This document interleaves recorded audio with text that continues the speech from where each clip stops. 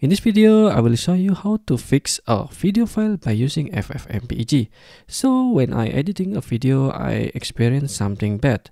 I cannot export the video at all. It's uh, keeping preparing export for long, long time. I didn't know what caused this, but I suspect that there is an error in the video file. So let's try fix it. Okay, now we need to stop the export first. And then I will close it. And then we go to the terminal here. And the broken video is here. To fix it, just uh, type the FFmpeg here.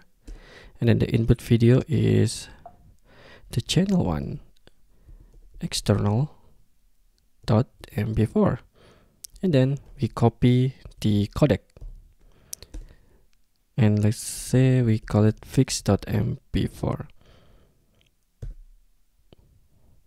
now once it's done let's uh, move the file first the original. Let's uh, make a backup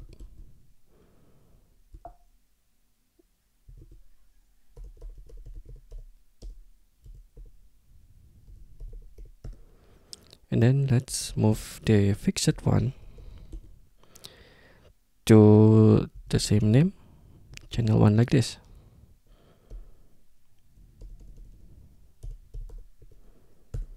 Okay now let's open again the uh, project file.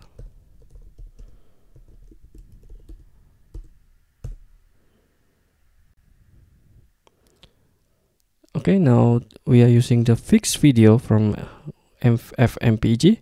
Now let's see if it's working.